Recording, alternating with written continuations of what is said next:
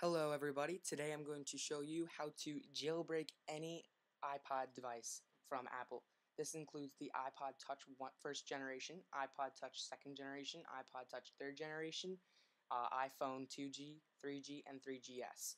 This will work on the 3GS and the 3G from what I have done.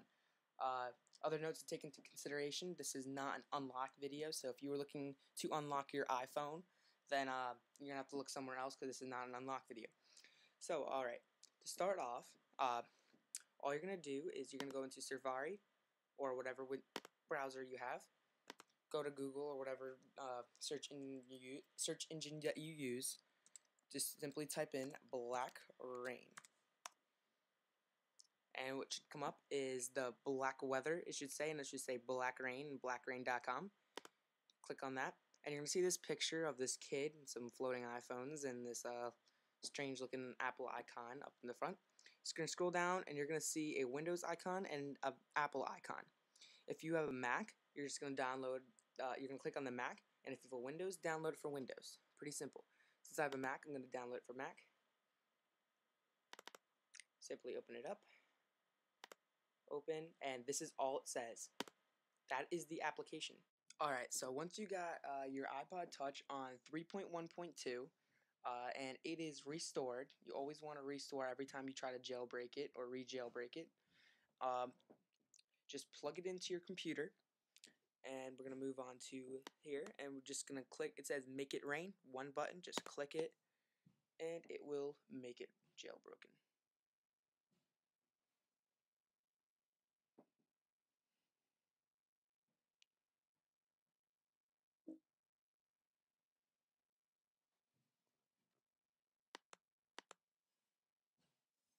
So, uh, by the way, uh, this is cracked. It's not the one that I'm giving away in the giveaway. If you haven't seen that already, this is just another iPod that I had around. So when you jailbreak it, you will see like this the kid's face that you saw from the from the website.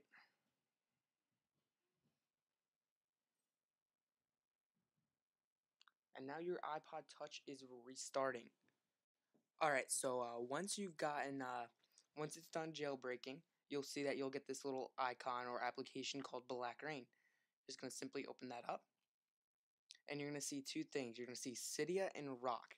Those two are two different uh, uh, third-party applications. All you're going to do is going to hit Cydia and you're going to hit install. Now, I already installed it, so uh, I'm just going to uh, ignore this process, but that's what you're going to do. Now, you can install both at the same time, but there has been problems where uh, if you try to download both of them at the same time, it does have an issue. So all you're going to do is you're just going to go singly by both. Now these are both uh, they are both uh, third-party application or third-party app stores, kind of like uh, the App Store for uh, for Apple, but not nearly as enough applications. But you definitely do get a lot of the stuff that you wish you could have got gotten without jailbreaking. So so that's what you see here. You can see Cydia and you see Rock. Cydia has got most of the applications that you want. It's the main uh, third-party app store. It's got like the thing that gives you backgrounds. Got tons of themes. And when you when this comes up, you're gonna hit complete upgrade. But I don't know if I want to do that just yet. But that's what you're, you're gonna want to do. The next thing is we have Rock. And Rock is just another app store. It's got some pretty cool stuff. It's got like basically, uh, it's got a lot of the stuff that Cydia doesn't, but they both have a lot in common. Uh, really big thing about Rock is that Rock is way faster than Cydia. Cydia takes forever for uh, for it to load up. Uh, eventually, whenever you go through all the upgrading and downloading a lot of stuff, and this one also goes sideways. So another big uh, big advantage for Rock. Rock. Rock doesn't nearly have enough stuff as stuff as Cydia does, or so I know. I'm not sure, but all I know is that I I usually use Cydia a lot, and then uh, I usually come back here and check out what Rock's got to. So it's definitely good to, download both of them. So uh, these uh, this is how, how you jailbreak your iPod Touch. Here's a big question that I get a lot about this: is that is it illegal? For an iPod Touch, it is completely legal. And why do I say this? Is that there is a uh, there's an uh, what is it? There's an amendment that's uh, I can't remember which one it is, but there's an amendment that says that uh, since you own the product and you own it, like you completely purchased it, there is no nobody else that can tell you what to do with it. So you are free to do whatever you want with it. So it is completely free, to, or it is um, it is completely uh, legal to jailbreak it on jailbreak it on an iPod Touch.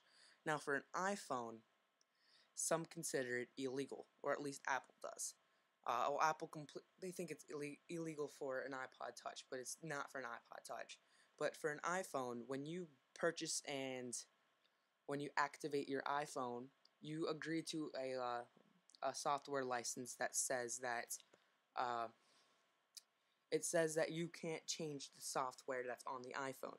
And basically, when you jailbreak that, that changes the software. Uh, I did see in another video where someone actually uh, they called called Apple about it, and they said that it is illegal for that reason, but they will not prosecute. So, I there's a lot of people that jailbreak their iPhones, and I don't think it's a really big deal. So, uh, if you want to jailbreak your iPhone, go ahead and do it. I mean, the that the benefits completely weigh out the consequences. Yeah, your iPhone, your iPod may go a little bit slower, but you just get so much more with it, and it's just so much better. So I definitely recommend that you jailbreak it, even if you have an iPhone. I might get one soon, and I'm definitely jailbreaking it, even if it is illegal. But I'm sure it's. I can assure you it's not, it's not legal for the iPod Touch. So uh, yeah, I hope you liked this review. If you did, or I hope you liked this tutorial. If you did, please subscribe and update and go to my Twitter for uh, you know. I don't really do a lot of giveaway like uh, giveaway updates on my YouTube channel, so uh, just go to my uh, Twitter and I will update there. And that's really like if you for that's for the people that usually use Twitter. So if you like it, please go subscribe and follow me on Twitter. Thanks.